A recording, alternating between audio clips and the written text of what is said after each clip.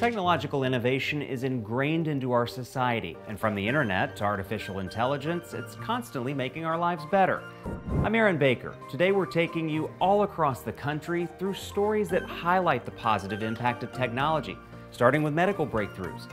First, we're going to Boston, where WCVB's Mary Saladna has a heartfelt love story of two young people who were brought together by tech. I was an active person, and then three days later, I was bedridden on life support. Adam Millar admits it was a wake up call. He was 19 in Colorado, pursuing a hockey career. He suddenly came down with what he thought were flu symptoms. It was actually his heart. It had lapsed into atrial fibrillation, which quickly turned into cardiogenic shock. He nearly died, but two small Impella heart pumps, designed and made by Danvers based Abiomed, saved Adam's life. It's incredible, a really incredible technology. It's crazy what kind of just a simple idea of, hey, allowing your heart to rest and recover and let these pumps pump blood throughout your body while it can relax and recover, and then three days later, your heart's fully back to functioning. A recovered Adam flew to Danvers and did an internship at Abiomed, where he met Casey Mucci, who started six months earlier in human resources. His story was very well known around the office, and when he was coming on board, um, everybody was like, Adam Millar is coming, and I was like, who's this Adam Millar guy? Turns out he'd be the guy who'd pop the question just a couple of short years later. The company that made the device that saved his heart also brought these two hearts together. I'm very, very grateful that I had the opportunity to join this company. Obviously, it led me to Adam and our future, and yeah, I'm very grateful. So is Adam. He lives every day with passion and purpose and gratitude, even about his close call. I mean, it saved my life, brought me to my future wife, and gave me a passion for a career. He plans to use his mechanical engineering degree to design and develop the kind of cardiovascular medical devices that saved his life. Wow, Adam got a partner, a career passion, and a new chance at life all at once. Next, we're heading to Nebraska, where KETV reporter Jack Keenan has the lowdown on a fun new invention that helps patients recover from injuries. My quality of life before this was done. This is what rehab looks like for 72 year old Robert George. A fall left Robert with multiple compound fractures, severely limiting his daily life. When I was home, I couldn't even go into my kitchen to cook a meal. Someone had to be with me all the time for about five months. But thanks to an innovative rehab treadmill, Robert's last day of treatment has arrived. I don't think I'd have been where I am now without this. It's called a C-Mill machine, the only device of its kind in the state that uses games and virtual reality with body weight support to create engaging workouts. It's a really incredible tool to make many balance corrections and gait corrections in order to prevent falls. And then one where I'm walking, trying to avoid monsters. That's a good one. Then there's a volleyball one.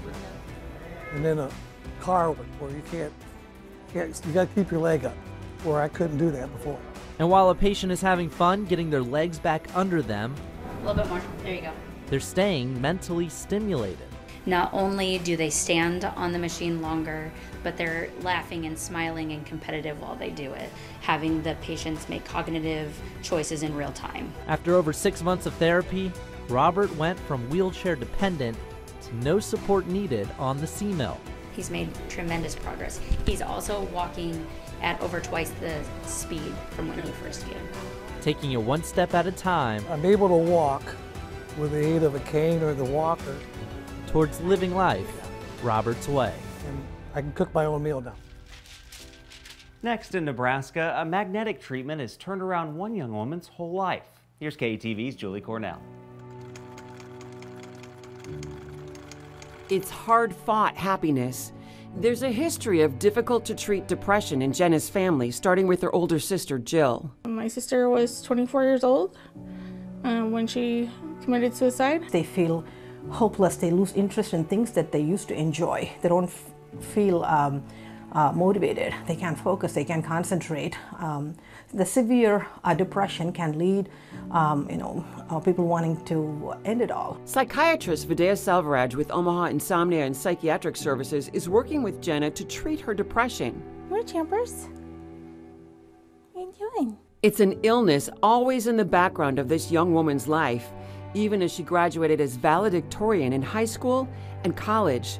There were so many days when deep depression kept her in bed. I've tried everything uh, with depression. I've tried every medication out there, every treatment, uh, pretty much that's out there.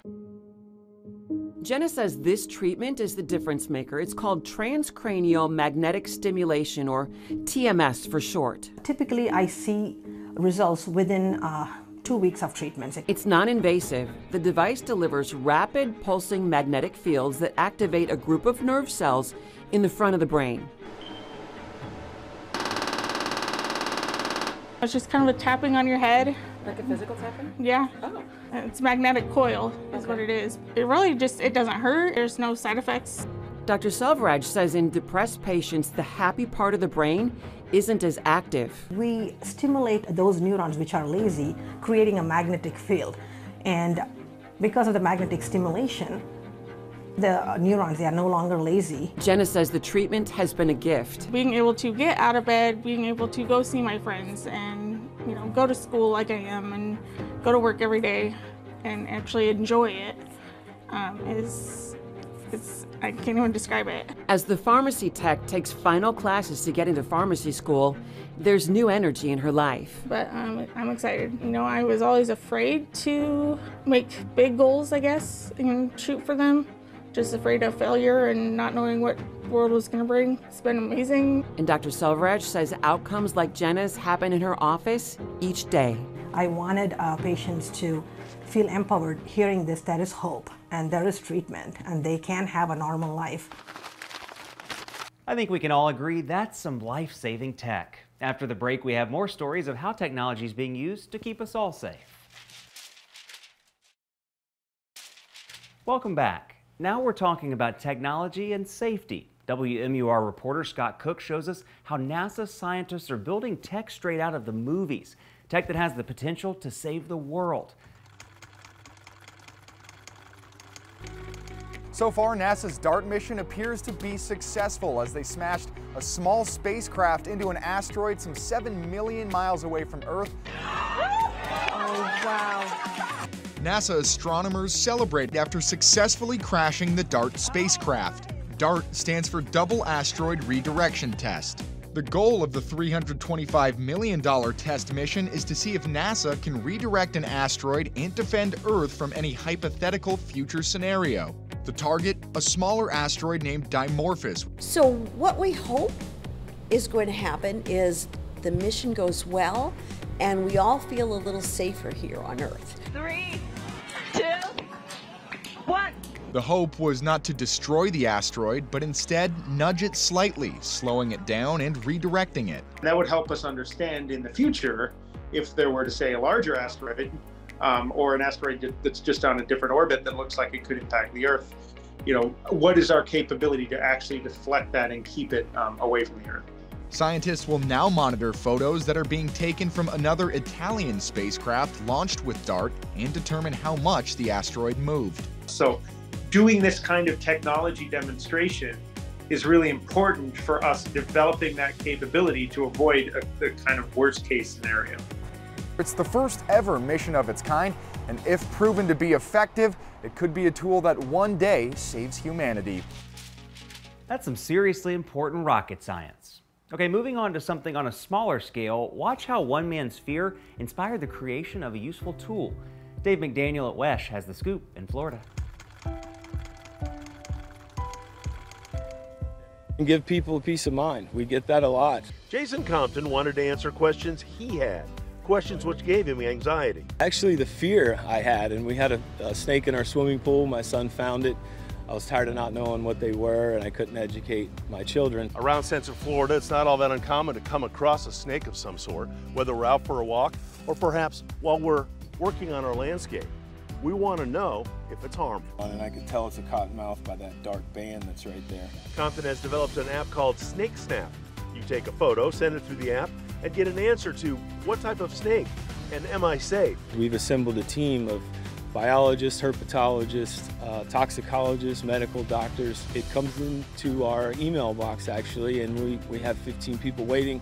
We can respond in seconds. He says at times the photos are not all that great, so it's an eyes on review before answering. We manually identify these currently because artificial intelligence with snakes is very, very difficult. It's, it's not 100% accurate every time now. If a snake is venomous, Compton's team can send someone out to pick it up if you want. Using your location, you can also get information of the type of snakes residing around you and what they eat. We also have every snake in the nation on our website. He now views snakes differently. I've seen them in a whole different light. They're beautiful creatures and I'm really, you know, learning how important they are. And he hopes the app users do as well. The fear kind of goes away and they realize, okay, well we'll let that snake live out in the in the garden now. We won't harm it. Now we're headed to Pennsylvania, where one piece of technology reunites families. Lily Coleman with WTAE has the story. It's wearable technology, and think of it as a really fancy game of hot and cold. So the closer my bracelet gets with the transmitter, the louder the chirp from the receiver. Listen closely. That beeping you hear is coming from this small transmitter, about the size of a watch.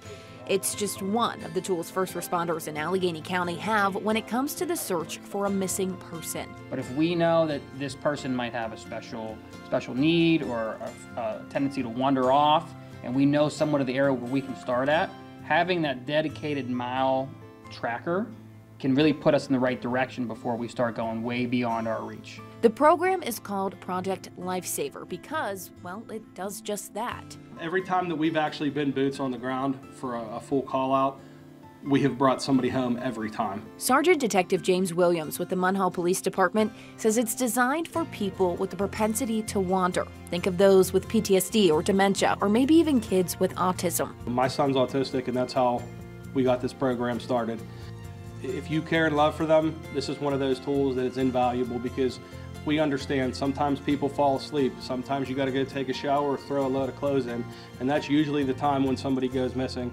We're not there to judge anybody, we're there to help. Police departments around the country are already using Project Lifesaver, and it's helped locate more than 4,000 people. Next up, how some digging and technology helped bring an unidentified soldier home to rest. That's after the break. Welcome back to our look at technology's positive impact. Up next, KMBC's Chris Ketz in Kansas City shows how dedication, investigation, and a bit of saliva unearthed family secrets and brought people together. The story begins during the attack on Pearl Harbor.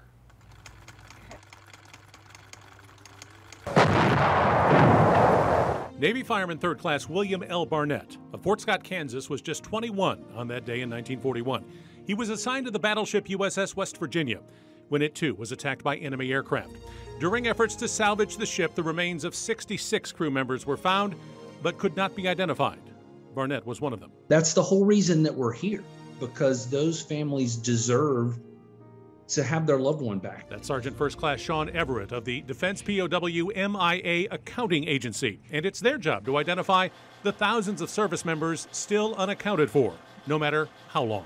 We are literally working on hundreds between the two labs, hundreds, if not, you know, over a thousand, but definitely in the hundreds of, of cases at any one time. In Barnett's case, remains of the 66 missing sailors were interred as unknowns at the National Cemetery of the Pacific in Honolulu. From June to October 2017, 35 caskets were disinterred, its remains sent to a military laboratory. Barnett's remains were found using dental records in DNA technology.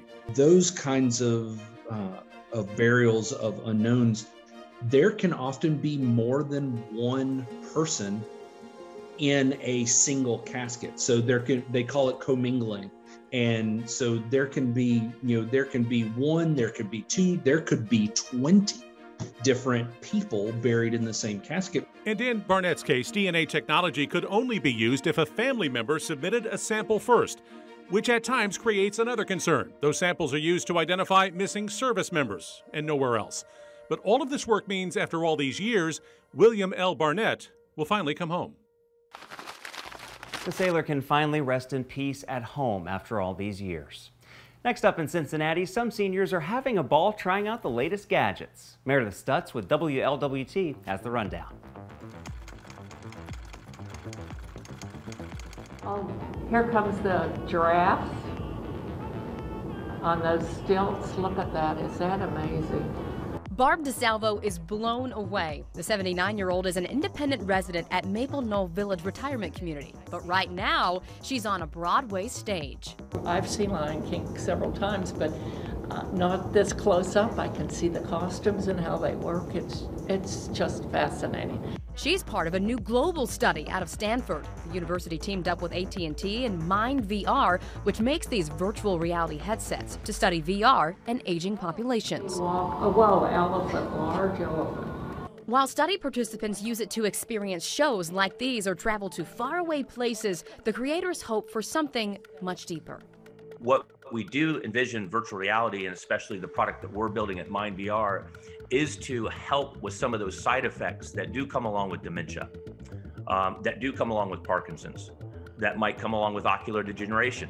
Now, talking logistics here, when I slip on the headset, I'm whisked away into the 360 degree world of Broadway. But nearby, an aide is keeping an eye on not only my safety, but also what I'm watching on a nearby iPad. It's just a, a, a hoot to do this. But besides that, there are a lot of people that um, are, are not as active and can't, can't get out as easily or see, are isolated because of family or whatever. And if we can give them an opportunity to experience new education, travel somewhere safely without ever leaving their home, this is something that I think is going to be a huge benefit to our seniors. Challenging stereotypes by setting the stage. This is a, uh, it just takes you to another world altogether. And um, that's so refreshing and, and comforting, I think. Now, when you think of farming, you don't usually think of the latest technology, but KCRA's Heather Waldman is in California showing us how farmers are getting tech savvy to keep up. For California farmers, everything has gotten more expensive, right down to some of growers' most essential resources. Water and workforce are two things that, that keep a farm going. If we don't have water, nobody farms. And despite a good rainy season, Central Valley farms that rely on groundwater likely won't see stable drought relief for a pretty long time. That has the local ag industry looking for ways to use resources more efficiently by bringing in help from some pretty sophisticated science and technology. Targeted sprayers can save water and chemicals. The sensor seeing the chlorophyll in the plant and therefore is targeting just the weed or the green plant itself.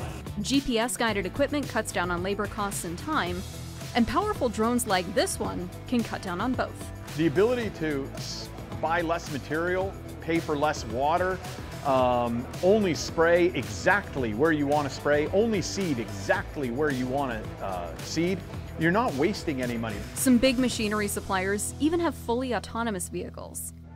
Obviously, there are plenty of really big, high-tech options for farmers, but with that tech comes a pretty big price tag that could eventually help to pay for itself in the long run. But I asked farmers, how realistic is it to afford that in the short term? Jared Enos, who represents walnut growers around the state, says the bigger farms have a much better financial advantage. And I think large farms that are huge that, you know, a million dollar loss to them is nothing. Those guys can adapt new technologies pretty easily. But for smaller operations, like Devin Bauer's pistachio farm, selling out tens or even hundreds of thousands of dollars isn't usually an option. Yeah, that technology is awesome, but uh, obtaining it or having it come in, if the price point is too high, you know, you're really kind of limited on what you can do. A combination of cost and a lack of trust in using computers in a traditionally hands-on profession have made many farmers hesitant. As with any new equipment, there's always going to be resistance from the way it used to be. But demand for things like drone sprayers has picked up in the last few years in California. And that's for farms of all sizes. California farmers are definitely at a tipping point, and I think the combination of workforce reduction with COVID and the water reduction through the latest drought, that's what tipped people over the edge. And for those that can make the investment, vendors say the return can pay for itself within a couple of seasons. Chemical savings first time over can be as much as 50%. Back when we were kids, they talked about robots doing the work for us one day. This is the robot that's doing the work for us. Autonomous farming is most definitely where the ag industry is headed. When a Kansas City mom's vision began to fade, she was terrified, but a piece of technology helped bring new light to her life. Over to KMBC's Emily Hallwick. Ashley Mizell loves being a mom. I really don't know what I would do if I didn't have those three boys like pushing me every single day. But motherhood became more difficult when she started losing her vision two years ago. It was just getting darker and darker in my eyes, and I had no idea what was going on. She was diagnosed with a rare autoimmune disease called sarcoidosis and is now legally blind.